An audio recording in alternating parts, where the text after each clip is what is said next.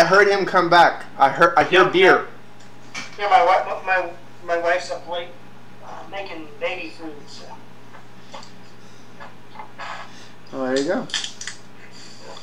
But I'm just gonna say this real quick though to Commodore. Uh, Sony has to make it uh, has to make a PS4 now. I mean, there's A- And I honestly think it's too early, but I hear what you're saying. They don't really have a choice. All right, let's go on to Yeah. Microsoft.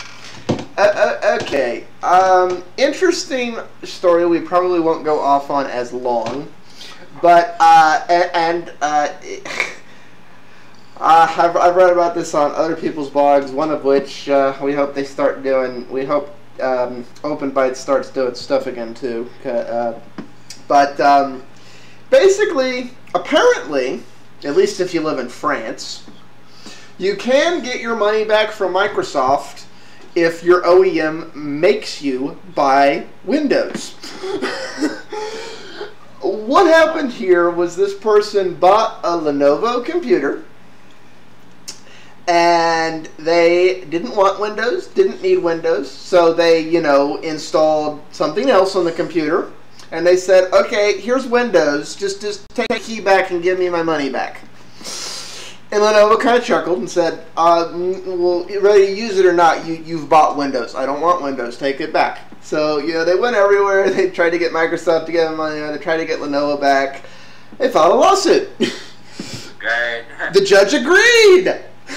Now they were asking for like uh, basically the cost of retail Windows, which came out to be almost uh, around 500 euro. But why retail? Why not the OEM version? Yeah, yeah, yeah. Well, but we don't know exact pricing and stuff. And again, the court said, okay, no, no, no, no, no, no, no. You cannot have the full retail price because that would be like 90% of the price of the computer. Yeah, because and also you can't move um, uh, you know the licenses around. Uh, well, you're not supposed to, but we know people who tried. Uh, but they, but they didn't want it at all, and they, and they were trying to, you know, get the key voided, you know, or at least not allowed to them or whatever. So that was, clearly wasn't the issue here. But basically, they got 10% of the cost of the system, which worked out to be about a. Uh, it was like uh, wait, it was 25% of the cost of the system, which worked out to be 160 buck refund in terms of U.S. dollars. I'm like, you know what? We in the U.S. should start doing this. All of those people who are forced to buy Windows that we never effing use, you know, we just take it and get a laptop and yeah, and we stick Linux on it because that's a better OS. it's like, uh, it, I, I don't know if U.S. law would allow for this, like uh, the law in France did. I find this hysterical because, uh, I, like I said, 160 of this reward was for the uh, the amount for the Windows license, but with all the legal fees and everything, you know, basically Lenovo had to pay more than the total price of the computer because they had to pay for the lawyer and everything else to give the partial refund. And. I'm like, Wow. But in case like this work in America or, or, or with the French, they, they just have the balls to do it. I don't think it would fly in the United States. The, the, the European Union has very different laws and, com- and uh, competitive laws, as a matter of fact, and they have a lot more uh, covering things that we would call antitrust. And yeah, the the EU It's just- really does not like its its companies at all. But they never attack Apple, of course. no, they did. Um, Apple's been under, under investigation a couple times under, with the EU. Mhm. No, no, yeah, like half the Mac versus PC ads, Apple was not lo- by law was forbidden to show them in the European Union, and they were stupid things like they were just implying stuff they weren't actually saying. S- say that again. The of those ads. I don't remember them. They were British guys. No, it was the things they were showing, like where they where they showed on screen and clicking stuff, and they'd like accelerated the footage for the point of putting something that takes 15 minutes in a 30 second commercial. You know, they weren't trying to be deceptive, but the EU said, uh-uh. No way in hell are you showing that over here. You're implying that takes 30 seconds. That takes 15 minutes. You can't show that. They're that asinine over there. It's almost very They- bad for Apple. box at this to exaggerate. Yeah. Yeah. It's all, it's really very bad for Apple at this point, and, and what I'm what I'm getting at is that they're number one now. They're the one with the 97 billion in the bank. So now they're they're the ones with the painted target on it. And all, compounded with that, they have a fan base that, uh, like of old guys like myself who haven't, if they have not defected it kind of like I have, then, then you know I'm assuming they're still very much a diehard Apple fan. It's the dark side. Right. I mean, I mean, in other words, anything they do that are very resentful of the desktop wars, and so it's kind of like you read these these, these pundits that have this animosity, even though they'll, they deny it, that oh, it's great that Apple's doing well. So Apple's in this position now that they're the old Microsoft, they're the ones with the target, and if anything happens, its news spreads rapidly, and they have now so much more to lose because they're the ones on top, and it's it's going to be a, a, a bad. Uh, fall down hill. Yet it's really funny. In spite of all of that, uh, Microsoft is still hated more, and it's you know. I've seen this like stupid thing on YouTube where they have a fake video of an iPad hologram. It's like, okay, why do people think Apple's so freaking futuristic and they have a hologram on it? It's like, who would think of putting like, why do they, why do people think of making, oh, Apple's futuristic, we should make a fake hologram video on on, on an iPad. Yeah. When the ASUS Transformer Prime kicks the shit out of the iPad. You know? Well, let's go back. Let's go back to, to the, the, the old days of the desktop wars. Windows actually became popular. It was fashionable. You don't have Windows? What's wrong with you? Yeah. Now, Microsoft screwed that all up. Oh, big time. No, no, and honestly, that was why I went to Windows way, way, way back in the day there because it was honestly. It, it, I know this sounds crazy to people today, but back in the late 80s, early 90s, i- and this is crazy, this is crazy talk today, but in the late 80s, early 90s, Windows had a shitload of features and functionality that its competition didn't have. You know, and it really started to click with Windows 2.0. It came to a head with 3.0 and really was great with Windows 95. Then Microsoft started to kind of get a little full of itself. And that's, but it, no, there, Windows was so cool that the blue screen of death that occurred in front of Bill Gates when he tried to uh, introduce plug and play yes! was But the echo. I'm hearing echo. Yeah. Oh, oh, it was probably because I yelled, but he, he was talking about the blue screen. That, do y'all remember that at the Microsoft launch? Like they're they're introducing plug and play. Yeah, they plug and plug, play. yeah, they plug in the scanner and it crashes Windows. And Windows was so popular, so cool. It, it was like a Steve Jobs moment when when something doesn't go right for Steve Jobs at an Apple event and everybody just kind of chuckles. Rather than booing and going ooh, when everybody just kind of chuckled like they were because Windows had crashed and had a blue screen of death. They're like, oh, it's- oh well, you'll get it fixed, Microsoft. You'll innovate. You'll. I mean, I'm short of, of, of course, Apple's had its own bugs and problems that they conveniently edit out of their of their keynotes that they've they've had in the past. At least they haven't had a, a, a OS 10 crash that I can remember Oh, on screen from them. But it just goes. I guarantee you, if that ever happens at an Apple event, they are going to close. No, no, they are going to seal the doors, turn the Wi-Fi off, and say none of you are leaving until you sign a do not disclose. Oh, you have but not OS 10 crashing. They have OS 10. They have like where the app doesn't launch or it, it doesn't quite work out. I've seen all the blooper reels, but I mean like a blue screen of death crash, where maybe he gets like the, the, the beach ball or, or or you know how like OS 10, yeah. Um, man, that would be good. I mean, if that were to happen right now today, that'd be, I, I don't know, maybe it'd be overlooked because Apple's still cool. I mean, Apple's in the cool bubble realm. It's a good place to be as a company. And it's just like uh, that plug and play failure uh, was, was, yeah, it got pressed, but it was overlooked and people kept buying Windows. It was the thing to have. Well, Microsoft still got their Xbox. Uh, and, and you know, got it. uh, uh, honestly, that's one of the smartest things Microsoft ever did was make the stupid Xbox, because it, it like I've said this at least a hundred times. It, it did its job. It established DirectX. You know, it. it Yeah, Microsoft actually made made sure because they they knew that's that's how you had the NT engine and and, and then the DOS Windows retail Well- versions running in parallel. Well, because DirectX. Well, let's also skip the fact that Microsoft got lucky.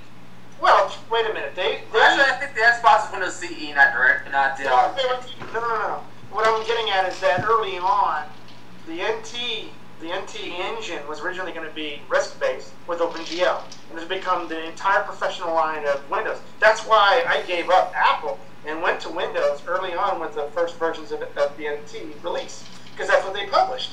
We're going to be risk-based. we're going to have OpenGL and everything. Instead, Windows 95 comes out, they go with ActiveX. Yeah.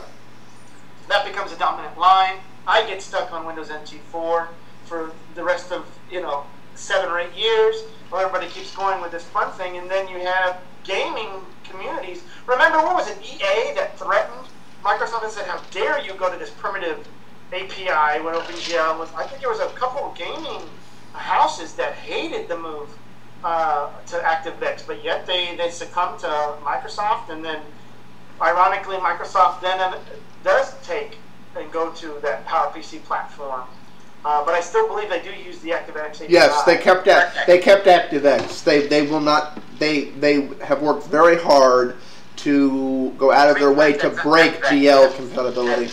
IE nine. What? You mean you kept on saying ActiveX instead of DirectX? Oh, did I? I'm sorry, DirectX. Yes, DirectX. Uh, that, that's okay. We forgive you, but the comment critiquers won't. I, I, I had one person like get on me for saying uh, LX instead. I said XL instead of LX, and it's like, oh boy. I know from X. Thank you, comment. Yeah, I used to write ActiveX as I mean as ActiveX, but yeah, DirectX. Uh, oh, well, go ahead. Go ahead. No, no, I, I had finished my train of thought. I, I just uh, felt that they cornered the API market. well, yeah. Well, they got lucky with the Xbox 360. Oh, the original what, Xbox. When did the Xbox come out? What, what year did the Xbox? I, I well, want to say 99 or 2000. It was early. It was toward. Well, well, hold on. The original Xbox was a train wreck. Oh, it it, it, it was. It, it, it died horribly. But it did. Xbox 360 came out. Oh, well, you, that you know that's what's so funny. The original Xbox was like this. What you couldn't afford a PlayStation. 2001 is what Wikipedia is saying. Uh, okay, then it was. Then it was two. Then it was 2000. I'm thinking of. Whereas, uh, here's the thing, y'all need to understand.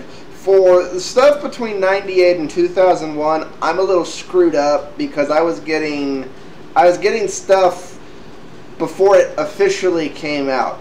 So I, at the same time where there's magazines talking about hyping it, I had it. So I'm a little screwed up with. I could swear I had. It's the same thing with when XP came out and everything else. I'm like, I could swear I was. And then I remember, oh wait a minute, that was before it was on the market. Never mind. It's like the Xbox 360 came out in 2005, by the way.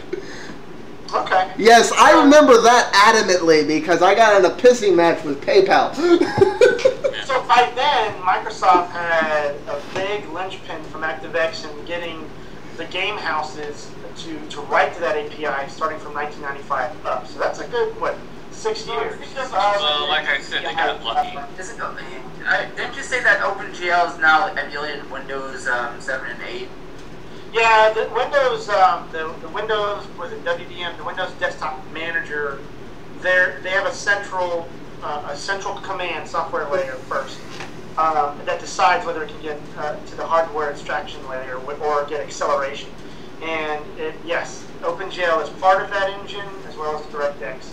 Um, so OpenGL's not native on, you know, like it's it's it's not really like pure native, or is it? Uh, yeah. yeah, they support it. They, they support it. It goes through the, through the WDM. So, um, but and, and, there are plenty of players in the industry that still prefer OpenGL to DirectX, but because well, of the 360 phenomenon that's and such a bad, that's such a bad war. I mean, I know, but OpenGL is definitely becoming more popular because mobile is using the the, uh, uh, the what is it the E version of yes. uh, GL. So I actually installed the OpenGL ES emulator, so you know, but I haven't touched it. uh, well, um, uh, it came up with a game called Rage, and it, it's practically unplayable on the, uh, the PC because their new id Tech 5 engine uses OpenGL. Yeah, and that's the thing. And I, I swear, this is like paranoia talking, but I swear this is on purpose.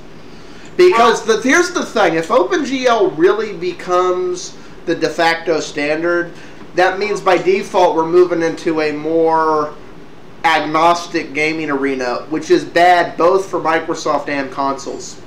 It's great for the emerging industry, but it sucks for the status quo. Right. Ah, so it's good for mom and pop to make a little business here, huh? Uh, it, it, it would allow independent gaming houses to have the ability to participate on, on a more equal footing. They still wouldn't be on equal footing because of the way the industry works, but it would allow. Brewmaster the Three Kingdoms is going to be basically like the Wild Wild West. That would still take three to five years to occur, but yeah. But anyways, the play the Xbox 360 got lucky because Sony's PS3 it was utter crap. I mean, I'm sorry, they had that thing sold at six hundred dollars. I know, no. What, what? Wait, wait. I remember it being six ninety nine.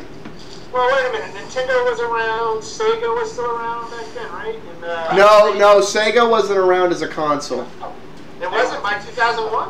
Uh, uh, no, uh, it- it- it- you could still get used Dreamcast, but Sega had all but given up. They basically they were in the process of pulling out die? When did the Sega uh, thing die? Was... Officially a few years later, but unofficially, Sega had already given up in the U.S. Uh, basically, every, at, at, by that point, every accessory, every expansion, everything for the Dreamcast was not even You're being right. shipped to they the U.S. In 2001, so well, speaking of Dreamcast, uh, you know, Scopeless, uh, I showed him a Dreamcast game that's brand spanking new. It's like, oh, I'm going to pre-order this. It's only $96. You, you think he's an Apple fanboy? He's a bigger Dreamcast fanboy than that. well, well, and, you know what was really wrong with the Dreamcast in the U.S. It had had internet access. It was like way ahead of its time. You, you could dial in and you could do internet access. So the Apple Pippin. Yeah, yeah, but you know what the problem with it was? You had to go through MSN. It was like the only ISP you could get for it. You had to subscribe to MSN, which was this was back in the days when AOL was king. it was like. So I, I, I take it that I take it that Microsoft is, is, is, is prepared now to have ActiveX API ready on ARM architecture, PowerPC, and x86. So yes. uh, you know because they're not gonna they're not gonna relinquish that standard. So I think the Oh no, they're gonna try and keep that. Yeah, they're they're ready.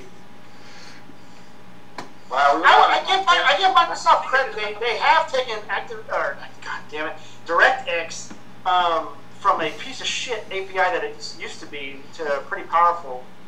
Um, Yeah. Yeah, that's all this tessellation and direct compute shit. It's like, oh my god, that was pretty freaking awesome.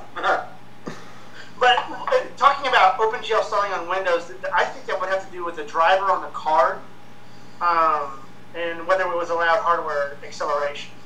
So you have to. There's a lot of factors, unfortunately, with OpenGL. What does the driver set in there? What does the software say? Does it does it allow hardware acceleration? All kinds of uh, factors come in and come into play. Well, and, and a lot of those factors come into play depending on what you're messing with, because it gets to be a real problem when things were designed first with ActiveX in mind, and then they try and make it go OpenGL, which is yeah, And I, let's be frank, OpenGL is an open standard.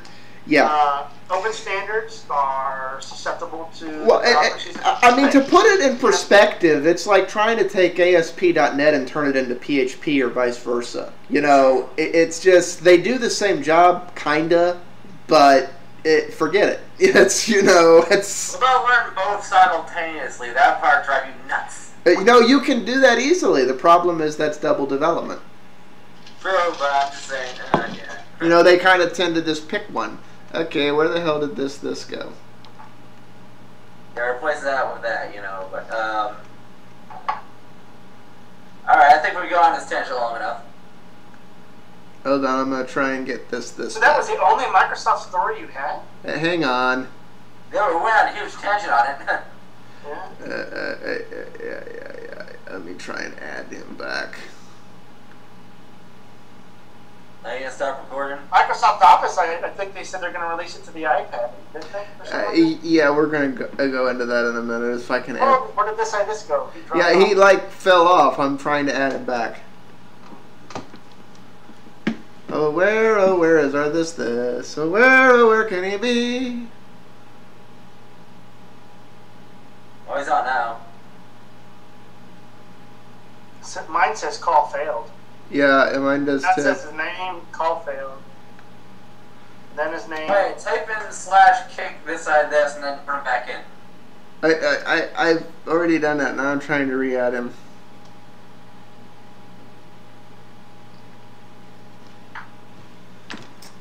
Oh well. Yeah, hopefully he comes back. You know what? I, I actually hope we TV the, the quest to getting to the TV comes fast because that's a form factor I can accept, and we can be damned with these freaking tablets uh, being so the king of the press. Yeah, this stuff is so gimmicky. Like you you spend like are. hundreds of dollars on it and you play with it for a month and then it collects dust. I mean, my, my, my pick is pretty useful at, with my BlackBerry. Outside of that, outside of the BlackBerry, I don't know what. I, I'm not inclined to go and just standalone. Okay, anyways, getting back to the Microsoft and Len for a moment, real quick. Um, you, you go ahead and lead us on that one uh, bit. Uh, why we see if this this comes back. Yeah, I, I heard about that Office. It, it- here's the thing: do we? I don't think that you. I mean, I've messed around with Office and the ribbon and touch, and it just it it. it it's not as user friendly as you would like. You know, What is it mobile version look like? Do they have the ribbon in the mobile version?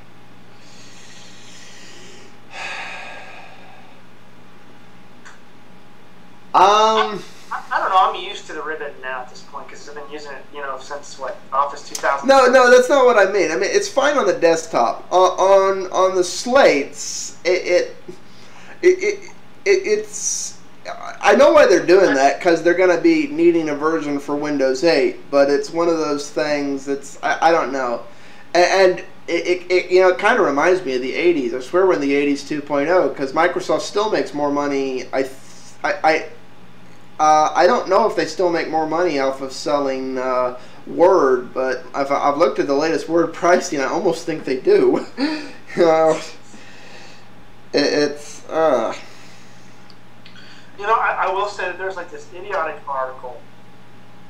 They were totally Apple purists that were saying, "Oh, know, Microsoft just is just not good at all because it, it, it had to do with Office coming to the iPad and all this." They're saying, "Yeah, it was it was believed that Microsoft was needed to get things done, and guess what? We don't need them to get things done because things are getting done." I just wanted to so bad jump into that conversation when I was reading this article because it was between a guy and his wife on in a car ride where they were discussing. I don't know them in the back seat and just called them both idiots and said, "Really, you're getting work done with the iPad? I'd like to see that." You know, yeah, you're getting work done. I, really, you're going to sit there and type everything out on that piece of shit keyboard, virtual keyboard, do all your little crap and say you're getting work done. You must not have, you must not know the definition of work at that point. You cannot do work on that Dan. You can do little superficial things and little things on the go. That is it. Work is not getting done on tablets. Games are getting games are getting done on tablets. Yeah, it's like it's like the old argument with the PC people. Like, oh, you PC people, all you do is play games. And I'm tired of these little. Oh, but Mr. Pitt, American Airlines is adopting the iPad for their flight manuals. Yes, it's a book. You're telling me, I, I, as a matter of fact, I think American Airlines is an idiot to pay $500 just to do that when they could have gotten a $200 tablet to just look at pages for them regardless. I mean, it's insane. I mean, who was the person that did that? You, This this is invention called paper. yeah, I know. It's like, okay, you want to save fuel, fine. I get that. You want to you want to have all your manuals electronic. There are a lot cheaper tablets that will sit there on your little flight shelf that, that you can access that don't cost five to six hundred damn dollars. I mean, what the hell? My internet went for a while. there we go. It's like we, we were just going off on Office for iPads. And then suddenly I just disconnected. Yeah. Yeah, uh, my internet just disconnected, and I was talking to nobody. I was like, "What's going on here?" And then all of a sudden, boop! I wasn't getting anywhere. I, I, I, I, I don't know. I, I, I, I mean, w- w- we'll see. It, it, it's. I, I mean, I haven't seen a price for it yet, and that's what it. I mean, is Well, it, I think it worked out on crappy netbooks than on a freaking tablet. You know. What? Yeah, we've gotten back into. We're, all right, I brought up a story about Microsoft Office coming to iOS, and it's basically all right. I read this article that uh, let me try to let me try to find it real quick and and um, I don't know, do you What's think that? Microsoft draw, will draw a line in the sand, or do you think they're actually going to try to make it? say again. Do you think Microsoft's going to draw a line in the sand, or do you think it's like, no, this thing's not a work platform. You can't do, get work done. Well, no, Microsoft actually has right. I, I mean, all right. There's two arguments at work when I argue against tablets. One is that the iOS way frustrates me more than anything.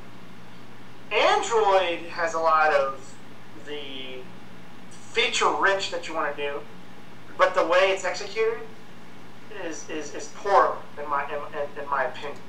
Um, but Microsoft's vision is saying, why should you be limited in power? And here's a full blown OS on all the things. Now Android is trying to say the same thing. It's just they don't have a, a desktop backend to give that the, the the continuation of something where you're used to being doing your work on something, right? So Yeah, but now that Microsoft WebOS has that is- advantage.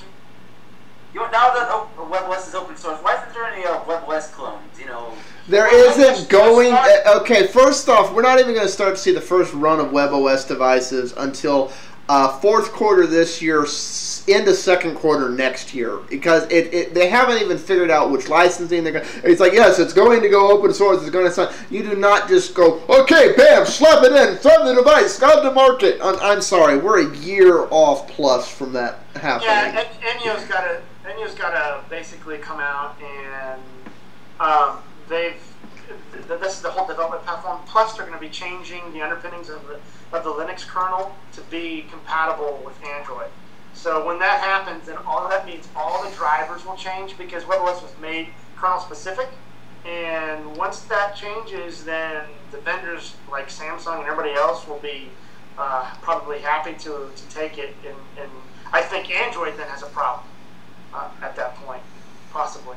So Well, no, just because Android's doing good now doesn't mean they're going to keep doing well. It Well, will be. Android's slowly killing the iPhone, iOS. Well, I don't know. They, Apple's got. We have to see first. Look, I'm the first one to say that I I can't stand iOS, but Y- Apple, You know, it would be interesting if it winds up being Android versus WebOS in the long run.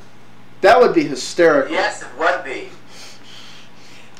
Oh, Oh, uh, by the way, I sent you a link on the graphic. Yeah, I, I saw that. Uh, it's um, yeah, the, the- it, it's guesstimated that Android has topped the fifty percent mark.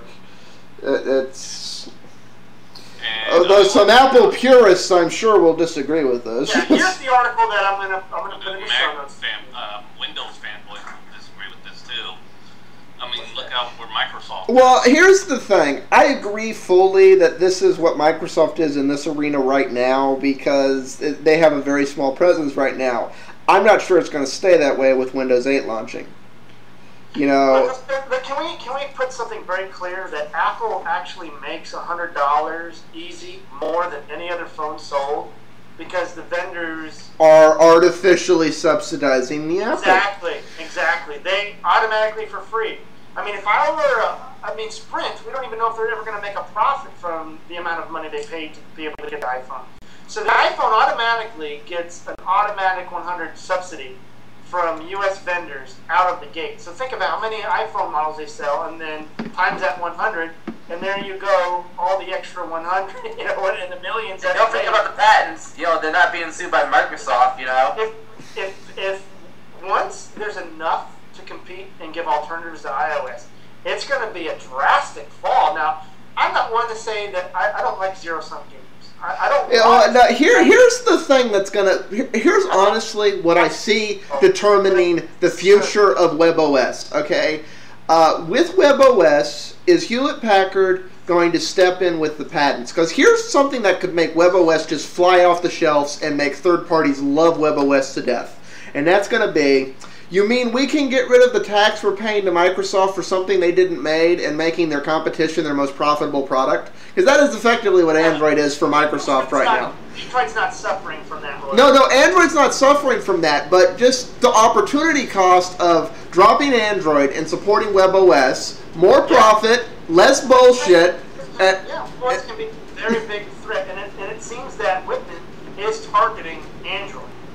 And Yes. All of her press conferences that she's made, she's targeting Android. Yeah, yeah, she's like, we're the other Android, and by the way, we have protection against Microsoft. It's Yeah. like, And WebOS, I'm sorry, puts to shame Android and its operating system. To me, that, that's WebOS is how it's done.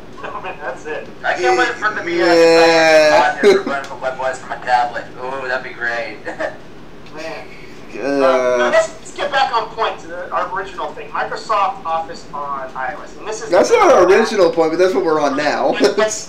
Yeah, no, because this this is the kind of frustrating thing that pisses me off. This is the this is the the, the conversation I was telling you about. This I guess you were you had dropped off um, for this, but it basically these are Apple purists that say, oh, Microsoft. Their underlying message is that Microsoft is totally irrelevant, and they were always trying to say that you never needed Windows to get things done. And, and, and see, his wife, this guy's wife, is trying to say that um, she says, in, in fact, many, many, my many years of Mac consulting was proof of this. To my clients, Microsoft, Microsoft Office was a must-have, no matter how much I tried to convince them otherwise.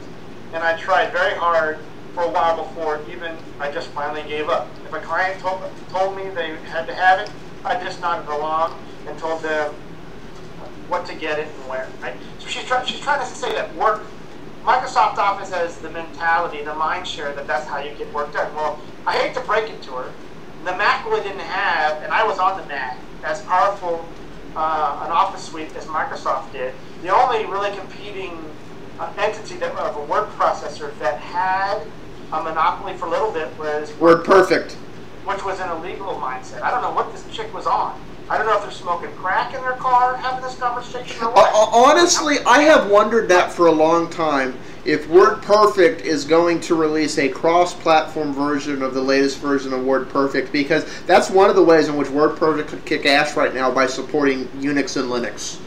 Uh, and, and helping reestablish them because WordPerfect is a great application. It, it's it basically if you need more than LibreOffice, if LibreOffice doesn't just quite get you there, because there are some things Libre doesn't do. WordPerfect is a great little application. Well, they tried the latest update of LibreOffice. It's actually pretty good. No, no. It, it, it basically it's just uh, there's a couple of things legally LibreOffice cannot do because they violate patents, and the only two companies that can do those things because of patent law being what it is today are Microsoft and WordPerfect.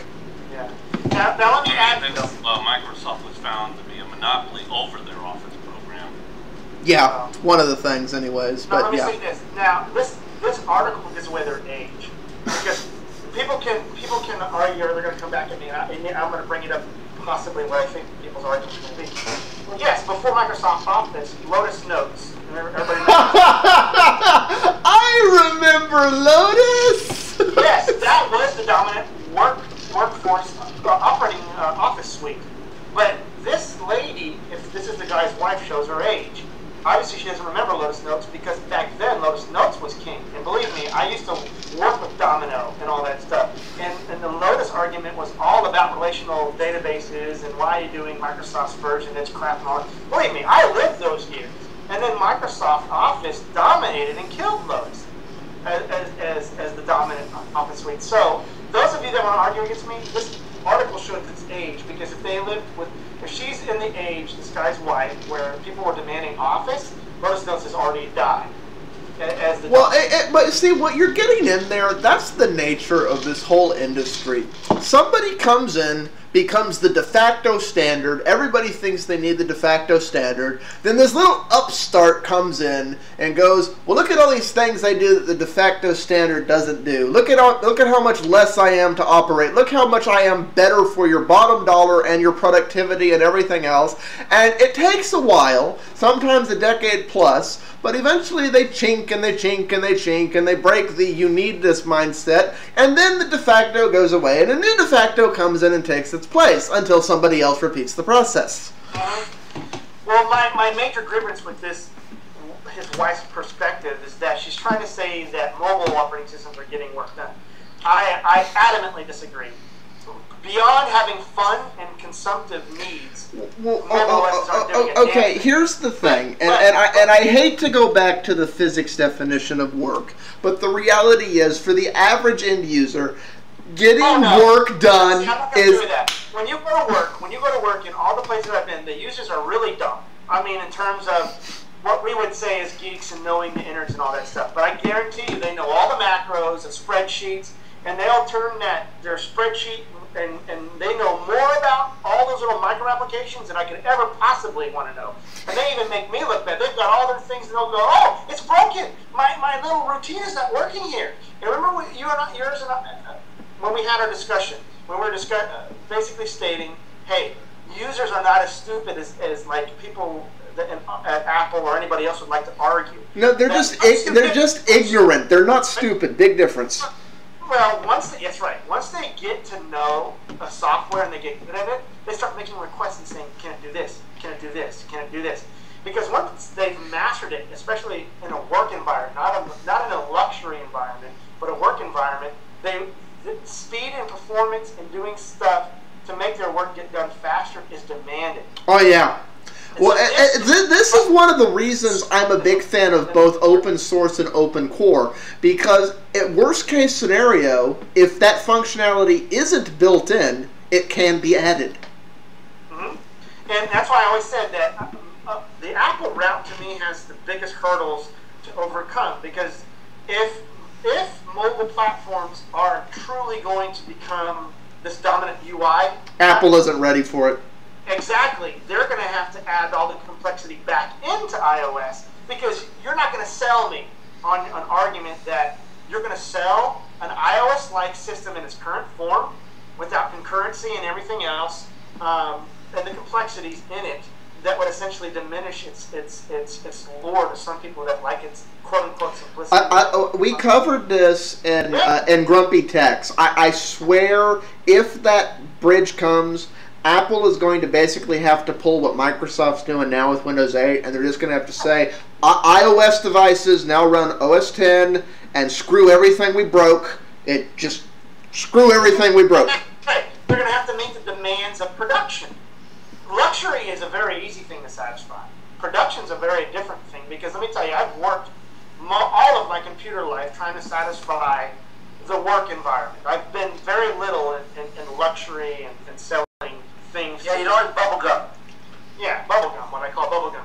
And, and I can tell you that users get very intelligent with software. They learn the ins and outs, and, and they're like these masterful machines that know everything there is to know. And as soon as you change it, all hell breaks loose. Oh yeah. Exactly. you moved my widgie. What's a widgie? this law firm, they just now got off of XP for freaking crying out loud. And everybody's bitching. They, and, they're, because now they have to get back all of the, the efficiencies they built in. We're talking You, you know what? I on that note, that I do want to know what my wh- who I want this Microsoft salesperson working for me that managed to do this because I've noticed across the country a lot of law firms have like switched from WordPerfect to Microsoft Word. I, I, I know, but I don't know one person in one of these law firms that is not bitching endlessly about it. Like a little Microsoft representative goes, "Okay, we have this new feature for you. You're gonna love," and they're all sitting there grumbling on their tongue. Yes, that's called Word Perfect. We had that before you assholes came in here. That's right. my, my mother is one of them that loved Word Perfect. Then she actually started to like Microsoft Word when she got used to it. But let me tell you, for years, she wished she could go back to Word Perfect. As a matter of fact, I bought um, for her as a present Word Perfect to go on her Mac. Um, these were this was years ago. Now she doesn't even use it. Now it's just she's got Microsoft Word on her Mac. But Microsoft successfully dominated Lotus and dominated WordPerfect and became, yes, contrary to what this woman, this this guy's wife is saying, that my, because what does she say here? She goes like the certain finally uh, falling from the Wizard of Oz to just to, to find just a small frail man pretending to be a far more powerful and relevant than he really was. Microsoft's biggest miss was allowing the world to finally see the truth behind the big lie. They were not. Pay no attention to that man behind the curtain. Yeah, you can. T- this life of his as a total. That is a total vengeance lie. I, I understand that she she couldn't stand it. Just like I you know what, Ben? As somebody in the Apple camp, what is it about people in the Apple camp that they feel they need to sit up on? I mean, this happens to people in the Linux camp too. They, they feel they have to like tear the other guy down to win or something. It's like, you know what? Nobody's perfect. It's like, I, I mean, it, that is such a. It, I mean, it tell, it's a very telling line in this paragraph um, that that there's a there was a lot of animosity. I mean, let me tell you, back in the day, I used to help out print shops a lot because uh, I, I helped a lot in working with crossing networks between Windows and Macs. And it's because I had the Mac experience first, and then I went into Windows. So I was always the one called out to link the two. And yeah, that was always a fun experience. yeah, and, and, and it was a lot of print shops, and I can't tell you how many people. Now they, they loved it that I was that, that I was that I was a Mac guy, and they kind of snickered that I was a Windows guy, but they kind of accepted it. But we're talking about people who had the old Apple rainbow tattoos on their arms and shit, and and like coffee mugs. I shit you not. I mean that was that was how it was. They were they loved. It was like you were the underdog to. It's kind of like I guess the Linux battle against FUD. The the diehard devotion to something and, and removing the big tyrant. And I get that, but This thing's such a mad mentality. yeah, yeah, yeah. Once that's done, don't become the man at that point. Oh no, but see, that's the, that's what I have to, and we're gonna get into this more in the next part, because I have to laugh at the fact that you know Apple started by fighting the big bad IBM, and now they are striving, fighting, and demanding to be Big Brother.